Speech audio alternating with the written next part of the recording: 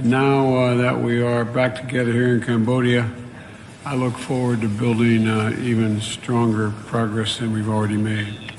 And I want to thank the Prime Minister of, for Colombia's leadership and the ASEAN as ASEAN chair. This is my first video update coming to you from Athens, Greece. And right behind me, you're probably wondering what is going on.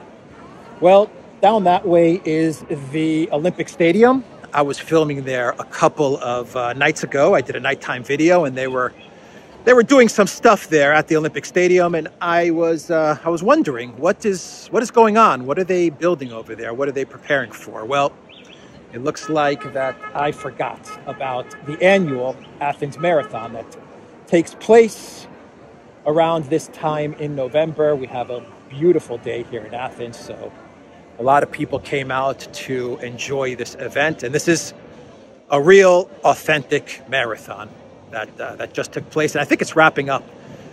Um, I believe that uh, that most of the runners now are are finishing up or trickling in slowly, slowly as this uh, this marathon comes to a conclusion, comes to an end. So let's walk towards the stadium.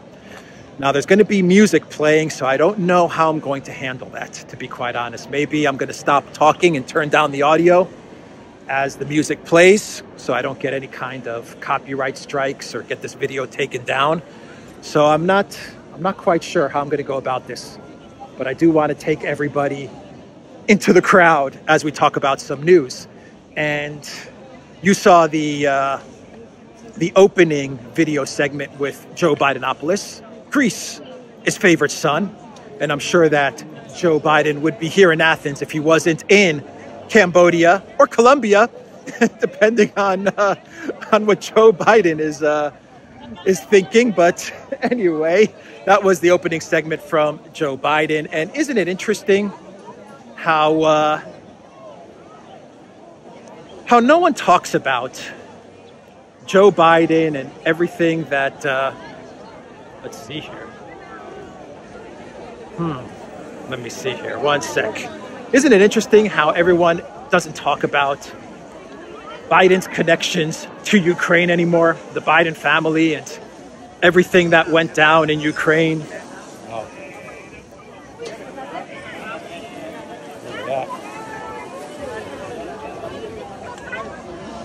Greek souvlaki. Oh, it looks so good. But yeah, you know, Burisma, Hunter, what was that prosecutor's name? Shokin? Shokin? And Biden sitting there and and telling all the other people in this, uh, what was it, like the Atlantic Council or something like that, some sort of conference there, and Biden sitting there saying, Well, I went to Kiev and I told Poroshenko, if uh, you don't fire the prosecutor, you're not going to get the billion. And son of a gun, he fired the prosecutor, and everyone laughed.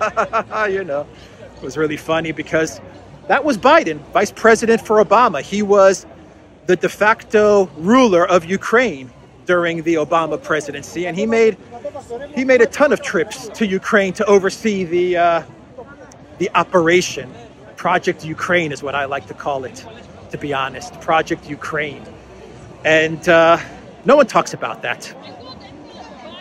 That all, of that narrative about Burisma and Hunter and fracking in the uh, fracking for oil in the east of, uh, of Ukraine and all of these things. Silence. Silence. silence, and silence. But uh, yeah, the corruption in and around Ukraine. FTX. FTX, since we're talking about corruption, this is my segue into FTX, is the corruption from Biden in and around Ukraine is going to give me my segue to FTX. So FTX is the crypto exchange that I talked about a couple of uh, a couple of days ago, and how this crypto exchange has gone from one of the hottest businesses, crypto businesses on the planet, to bankrupt. And the founder and CEO of uh, FTX, Sam Bankman-Fried, he went from being worth 16 billion to now being worth nothing, from what I understand.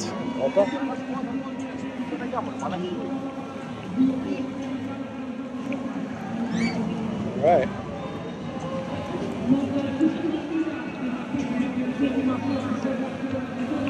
So now they're uh, they're finding out that FTX was uh, well, it was giving money to all kinds of different interesting causes, donations to all kinds of interesting parties, from the Democratic Party, 40 million to uh, to the Democrats and to the Biden White House. It was giving a boatload of money to the Green Agenda, and of course, it was giving money to Ukraine. Big surprise to Ukraine as well.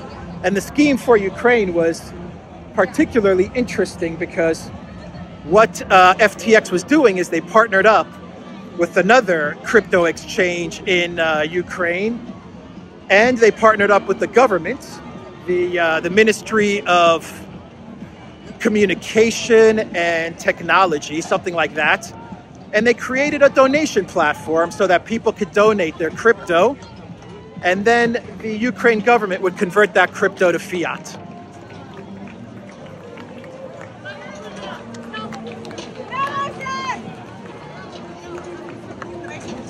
Awesome, huh? and uh, all of a sudden, that crypto to fiat has gone missing. And now they're looking at uh, FTX's wallet, the, the wallet that FTX was using to manage their FTT token, manage donations, manage all the exchange pretty much. And they're investigating this wallet now. And, uh, and when I mean investigating, I don't mean the authorities. I mean just, you know, the, uh, the internet sleuths, you know, the, the, the very smart and intelligent people on the internet who are good at these, these, these things. And there are people who are very good at these things.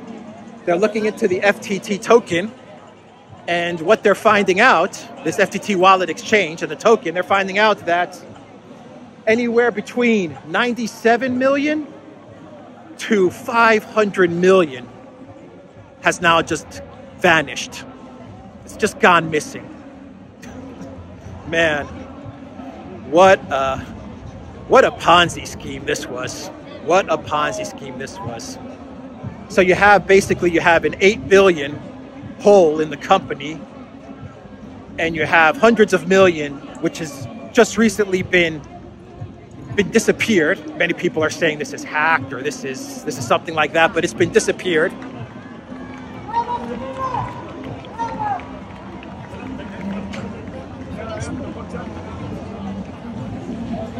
And you now have the uh, this whole Ukraine donation crypto thing as well, which is money that people are wondering where did this money go?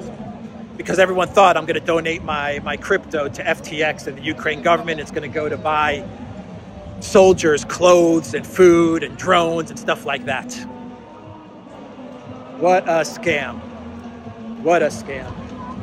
If if you want to if you want to find the the nodes of corruption, like the nodes, the centers of corruption that the elites use, the causes and the nodes of corruption that the elites use to uh, to make a boatload of money and to scam people, Ukraine and the Green Agenda. It's all you need to know. Ukraine and the Green Agenda, the perfect scams. And now you know why they don't want the Ukraine conflict to end and why they want to keep this thing going, whether it's through a war, whether it's through a frozen war, whether it's through more funding, more weapons, whatever, it doesn't matter. They want to keep this thing going because this is good for business. Project Ukraine. Project Ukraine is good for business. So let's let's walk up. Let's walk up the uh, the little bridge here and to the other side. That's why they want to keep it going. It's good for the MIC, the military-industrial complex, weapons uh, weapons dealers, the weapons black market. It's good for them as well. So that is why they have to keep this thing going. That's why they have to take taxpayer money and funnel it to Zelensky in order to keep the Zelensky government propped up and alive so that then they can make their money with all these other schemes. And I think my channel was one of the only channels that actually talked about the Ukraine crowdfunding platform called United 24 or 24 United. whatever that thing was called, and how Mark Hamill was uh, he was the drone ambassador, Luke Skywalker. He was the drone ambassador for United 24, and how they were getting money, how they were soliciting donations from people who uh, who would then donate to this United 24 platform in Ukraine, and supposedly the money would be used to buy drones and equipment and stuff like that for the army. And uh, people on this United 24 platform, they actually donated a hundred million in crypto. Man, if you if you donated your crypto to Ukraine, if you actually believe that that money is going to be used to help the people of Ukraine, I've got a Greek marathon to sell you. I've got a Greek marathon to, to sell you if you believe that your cryptocurrency, whether it was through FTX or through United 24, is being used to help the people of Ukraine.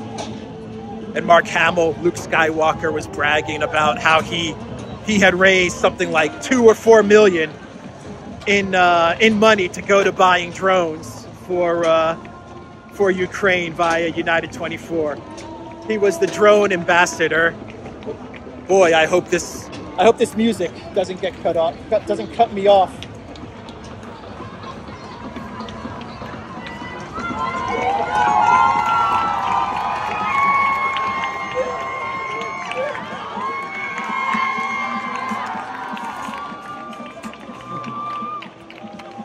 Pretty cool.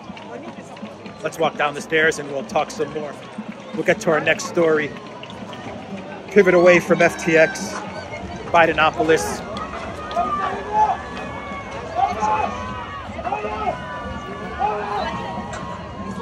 All right, so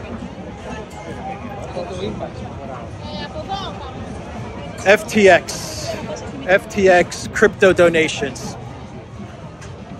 I was opening one of the taxi apps here in Greece, not Uber, just one of the one of the standard like yellow cab taxi apps.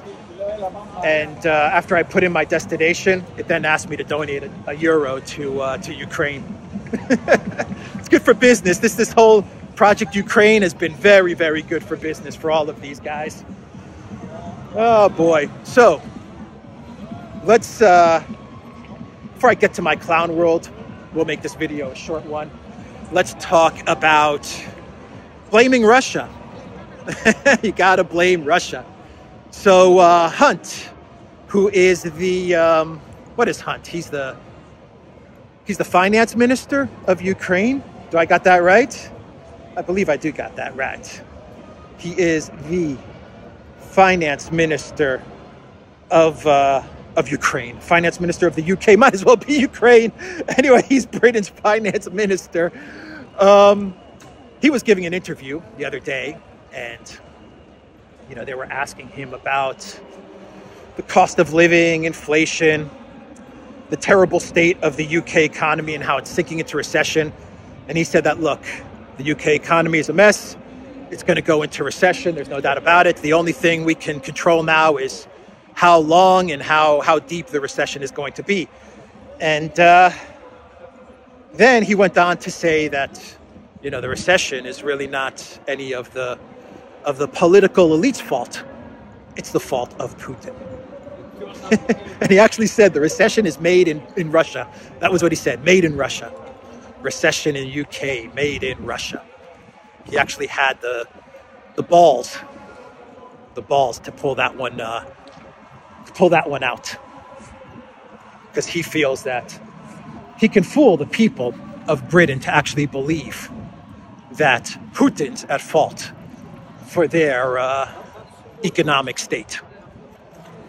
For which I always say the real problem with the UK is not Putin, it was their support of the sanctions against Russia, which led to, uh, to their demise, to the political classes, economic demise. It was the sanctions that you put on Russia, not the invasion.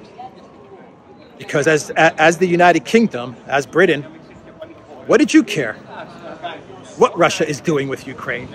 It's none of your business, is it? Unless, of course, Britain has some sort of treaty with Ukraine or had some sort of treaty with Ukraine. or had some sort of alliance with Ukraine, or Ukraine was a member of NATO or something, but it wasn't and it isn't. So why did the UK feel feel it had to step in and to destroy itself in order to uh, to fight Russia? Why did it feel that need? And why did it feel that it needed to place sanctions that would be detrimental to its own economy in order to fight Russia? Well, they wanted regime change, we know that. And they thought that two, three weeks of sanctions would lead to regime change in Russia. And it didn't work out the way they were hoping. And the sanctions boomerang back towards the United Kingdom, towards Europe, towards the collective West. But unfortunately, the elites in London, the political class, they have no reverse gear. And with each passing month, as they saw the sanctions chipping away at their own economy, instead of pulling back and reversing course and withdrawing the sanctions, what did they do? Kept on digging, kept on digging. They kept on digging that hole deeper and deeper and deeper. And now we're at the point, three prime ministers later, three prime ministers later, the UK is at the point where they have to explain themselves. And instead of taking responsibility and accountability like most of us as adults would do, what does Hunt say? Made in Russia. Made in Russia, there you go. I'm absolved from all uh, from all blame, from all responsibility all of the uh, the conservative government.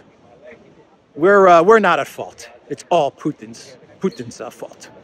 Made in Russia, he said.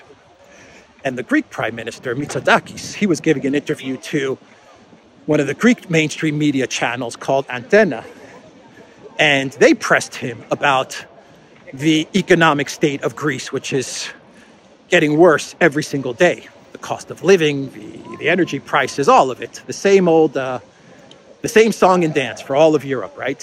Cost of living, energy, food, inflation, all of it.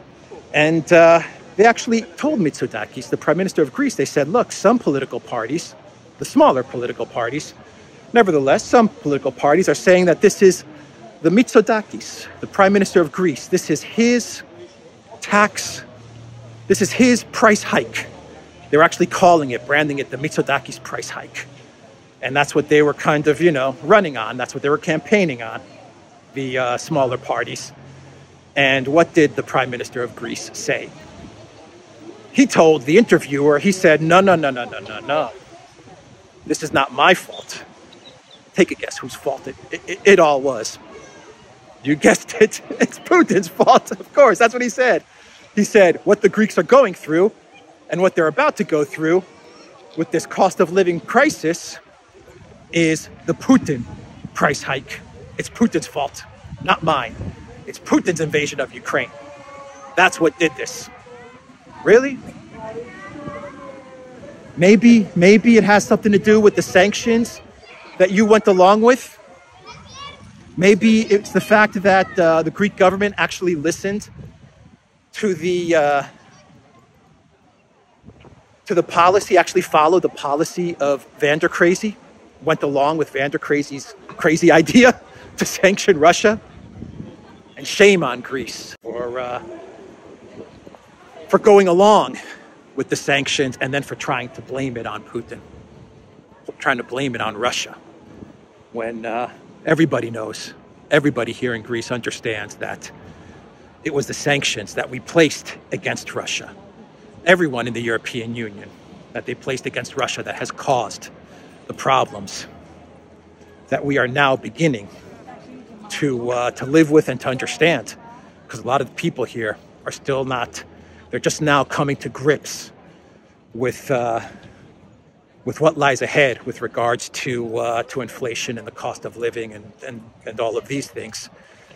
And uh, with each passing month, it's going to get worse and worse, and people are going to get angrier and angrier, and they're going to hit the streets and the government here, they have to explain themselves.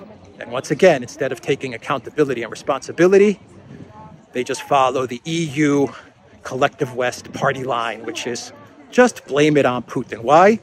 Because you gotta keep this thing going, man. You gotta keep it going. Because we're all making bank. We're all making a lot of money. The political class, the oligarchs, they're all making a lot of money from this. Donate one dollar. Donate one dollar to Ukraine, right? They're all making money. Send your crypto over to Zelensky, to United 24. It's going to go to good use, really. Trust me. Trust me, your crypto is safe with us. It's safe with uh, Adistovich and Zelensky. really, it is. Trust us.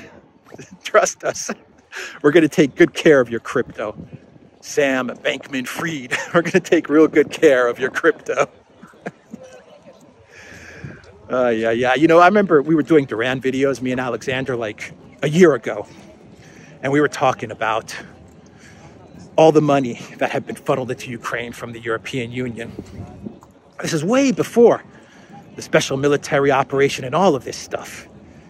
And uh, I asked Alexander, how much money do you think the European Union had funneled into Ukraine, just the European Union over the past eight years during the, from the Maidan up until like 2021? And Alexander was like, hmm, the European Union, the IMF, probably around 40 billion. But no one noticed. No one, no, no one understood. No one cared because this was, this was all being done on the down low. No one was paying attention. Just like no one was paying attention to, to Hunter and all the trips he was making, or Biden. No one was paying attention to all of that stuff. But, you know, it was, it was all going through Ukraine. And eventually, Putin put a stop to it with his, uh, with his SMO. He ruined the game. And they're never going to forgive him for that. They are never going to forgive him for that. You think Clinton had something good going in Haiti? I mean, the Clinton machine, they had, they had a real good, uh, a real good grift going on in Haiti. Remember those days? And they were making tons of money. Uh, magnify that by 100x, and you've got Ukraine over the last eight years. And now, and now, well, now we're talking real money. We're not talking 20, 30, 40 billion. Now we're talking 100 billion, 200 billion, 300 billion. That's what they've got their their uh, their sights on. We're talking big bucks. Big big cash. Anyway, I will leave the video there. And isn't this great? Just walking empty streets. Fantastic. Let's uh, do a clown world and we'll finish this off since we're talking about a little bit about Russia and we talked about sanctions. How about Russia sanctioning US politicians? Well, Russia has sanctioned a bunch of US politicians, the Bidens, the Clintons, all these people. They have sanctioned them. They can't travel to Russia. And this was done a while ago, I would say like maybe four or five months ago, in retaliation for the sanctions that the collective West placed on Russian politicians and officials. Well, the Russians came out with another list of, uh, of people that they're sanctioning in the US political class. And this time, the Russians are now placing sanctions, i.e., you can't travel to Russia, on Bernie Sanders, who who has traveled to Russia. He was in uh, he was in the Soviet Union many times, I believe. So maybe that one will hurt. Bernie Sanders cannot travel to, to Russia. Uh, Elizabeth Warren has been sanctioned. She cannot travel to Russia either. And uh, the Biden family, the Biden family has been sanctioned. Not just Hunter and Joe, but they got all of Biden's siblings, sister, brother, all of them they can't travel to Russia. But the best one, the best one I've left for last. and uh, this is the best one. They've sanctioned Pelosi, Nancy Pelosi, right? She can't travel to Russia. But now the Kremlin has decided to sanction Paul Pelosi. no more Russia for Paul Pelosi. he can't travel to Russia. So no uh, no stories of Pelosi in a hotel room in his underwear and stuff like that. with, with, with hammers and who knows. I'm not even going to go there. I'm not even going to go there. It's terrible what happened to Paul Pelosi. It's terrible what happened to him. But uh, that's what Russia did. They have sanctioned all of these people. And that's the video, everybody. I'm at the end of the streets here in Athens, Greece. And uh, I will um, I will end the video there. Yeah. The Duran.locals.com. The Duran shop. 10% off. Use the code good day. We are on Rokfin as well. Check out Alexander's channel. Check out the Duran's channel on all the platforms, including Telegram. And uh, what else? And that's it. Take care.